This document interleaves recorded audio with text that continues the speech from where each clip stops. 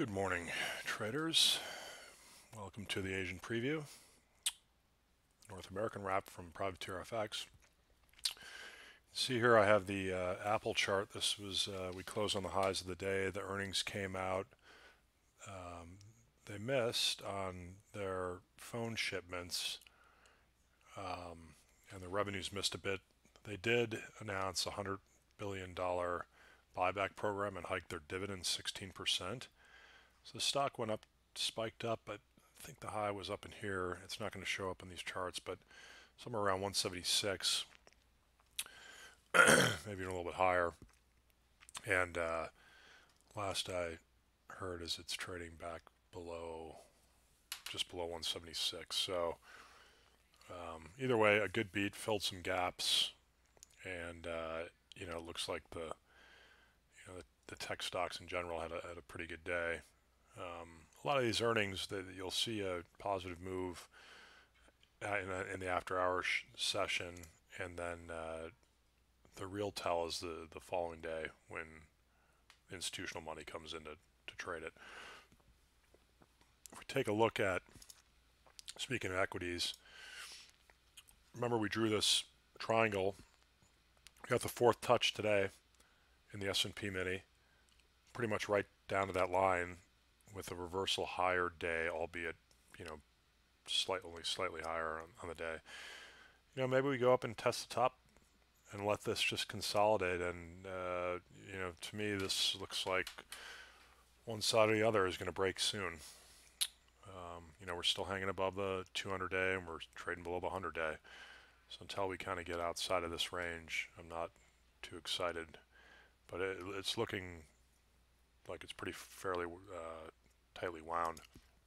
Nasdaq had a good day, um, pretty close to a bullish engulfing. Made a new low overnight, and then closed up near yesterday's high. So you know maybe we have another run up here to this two thirds that stopped it. Um, again, it's kind of a choppy pattern and looks like it's retracing. Um, you can draw a similar uh, similar downtrend line from these highs and it comes in just below today's low and the half fib. So um, you know if you look at the uptrend we get a couple touches here as well. This isn't this isn't as good a line as the S&P line but you know here we are just kind of in this triangle pattern. And uh, I think that the equities are going to resolve themselves sooner than later. oil. Let's take a look at oil. I sold some oil today. Not at great levels. As we took out this 67, 15 to 20 area. The key level to me, though, are these old highs right right here at uh, 66.60, 66.50. So this zone right in here um, if we, you know, we've been consolidating now for about 10 days after a huge move up. Let's not forget sentiment's quite high. Positioning's some of the longest positioning that the oil market, this, know, um, the CFTC data has ever produced. Um, so very long, consolidating. I do think if we, we can take out today's low and we get back through these old highs, we're going to push back down and we'll test this uh, 100-day moving average, which comes in around 63. Um, you know, so that's like a 7 8% drop. You know, maybe you can even get a little dip down to this April low. Uh, um, so that's on our radar. Uh, let's pop over to the currencies. Uh, fairly quiet session overall. Um, even though we, we did have some decent moves, but it was very, very grindy.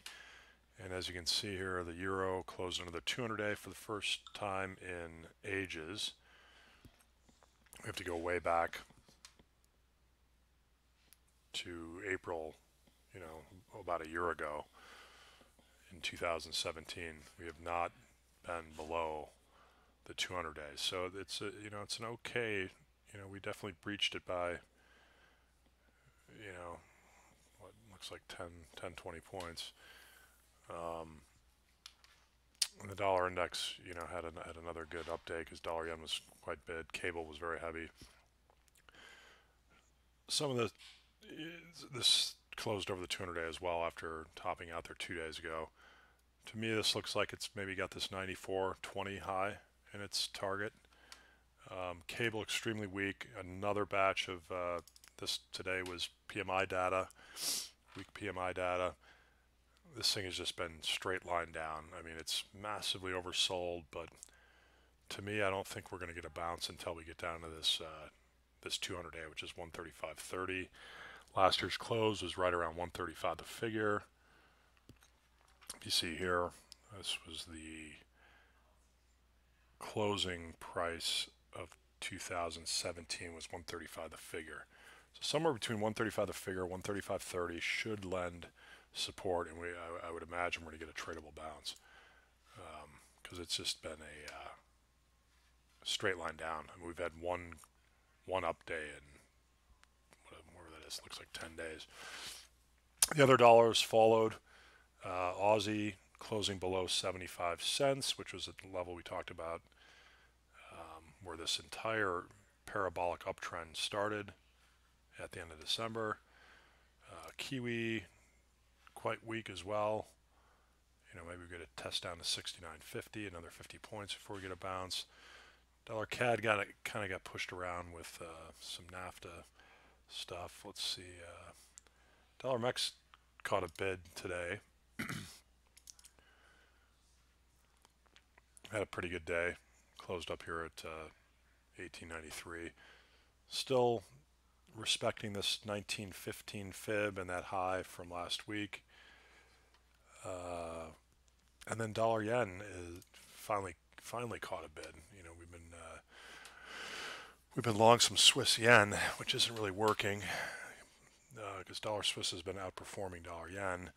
But maybe dollar yen gets moving. There are some barriers at 110. We got the 200 day 110.20. Uh, you know, we're a stone's throw away from this 110 level. So I suspect tonight we we see see uh, higher prices. We've got the FOMC tomorrow, so maybe uh, a quieter kind of Asian London session at FOMC where we're not expecting any fireworks. Um, see how these uh, equities react after uh, Apple's big gap move higher and uh, a long way to Tesla earnings is tomorrow after the bell. That should do it. Uh, good luck trading and uh, we do have some minor data coming out tonight out of New Zealand, uh, jobs data, and then we'll be waiting around all morning for the FOMC meeting. Good luck. Speak to you on uh, the European Open. Cheers.